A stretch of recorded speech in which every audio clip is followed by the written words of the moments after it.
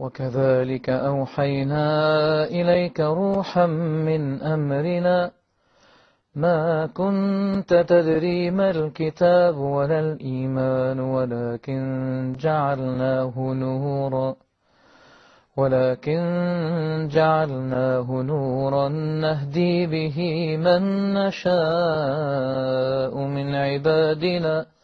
وإنك لتهدي إلى صراط مستقيم.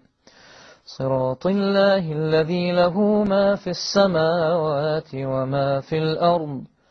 ألا إلى الله تصير الأمور.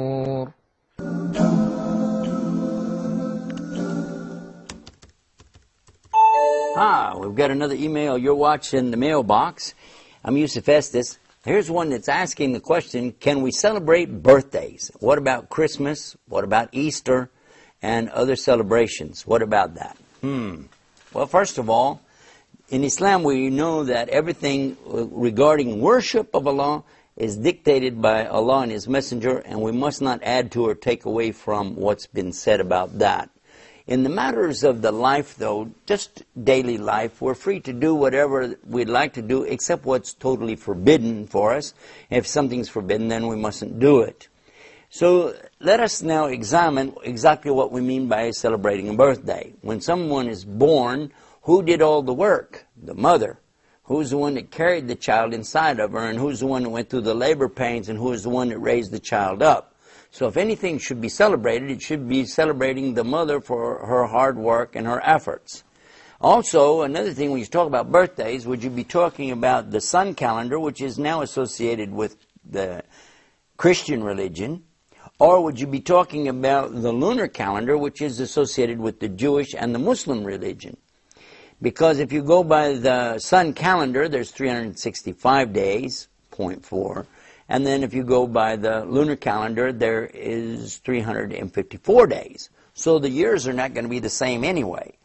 So if you said, well, it's just for fun, I want to have a cake and I want to put candles on it, well, then you got another problem. The candles on the cake actually are not coming from Christianity or Islam. They're coming from the Celtic religion, and this is the Druids many, many centuries ago, and they used to worship fire and things like that, and this candle represents that. So we're starting to really infringe on the area here of worship, and this is why birthdays, Easter, Christmas, and all the rest of it is not something acceptable in Islam because it implies a type of worship or celebration other than what's been approved by Islam. We do have two main Eids called Eidain, and that's Eid al-Adha and Eid al-Fitr. And if you understand how that works, we've got plenty of time to celebrate in there, have a good time. And as far as some of the other celebrations people are talking about here, I wish you would talk with your imams about this and find out the reason why. Okay, we've got another one in here. It's asking about plucking the hair from the face and the eyebrows. Well, if you're altering what Allah has given you, you, you must have a really good, legitimate reason for this. Talk with your imam about this and he'll explain it to you. But basically, if you have something that's uh, not characteristic of normal appearance of a human being, this is one thing.